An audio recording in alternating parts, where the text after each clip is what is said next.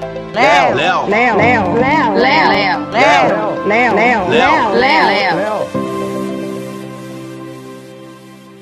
Léo, é possível dar entrada no meu pleito imigratório mesmo com as fronteiras fechadas?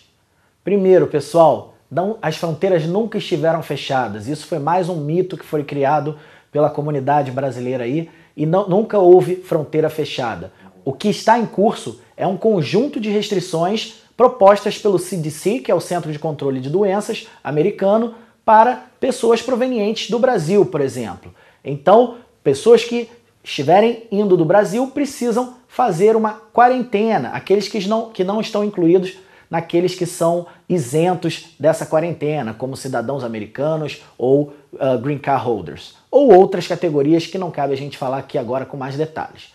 Então, é super possível você pleitear o seu, a sua residência ou dar início ao seu pleito imigratório, mesmo com essas restrições, tá bom? Você pode, inclusive, ir para os Estados Unidos fazer o seu ajuste de status em solo americano, desde que você cumpra as exigências do CDC, que são quarentena mais o exame de Covid negativo, pelo método PCR feito nas últimas 72 horas antes do embarque. Então, não hesite. As fronteiras não estão fechadas e você, se optar também por fazer o seu pleito migratório e aguardar no Brasil, fazendo o procedimento consular, o seu pleito migratório vai ser analisado e vai transcorrer de forma normal. Não existe nada bloqueado e não existe nada travando pleitos imigratórios no presente momento. Se você quer mais detalhes sobre pleitos imigratórios e sobre toda esse, essa timeline, todo esse cronograma dos pleitos imigratórios,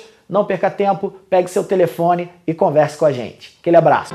Léo, Léo, Léo, Léo, Léo, Léo, Léo, Léo, Léo, Léo, Léo, Léo.